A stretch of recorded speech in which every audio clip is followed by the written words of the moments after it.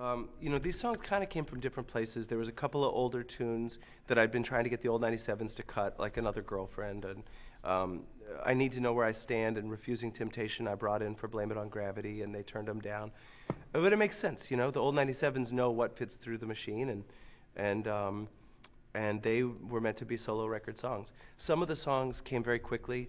Um, Happy Birthday Don't Die was the day I left um, to come to Texas to make the record. And I woke up that morning with the whole song in my head. You know, all the lyrics, this whole crazy sci-fi story about this woman who lives to be 100 years old and dies on her birthday. And, and it's like, I don't even know where that came from, you know?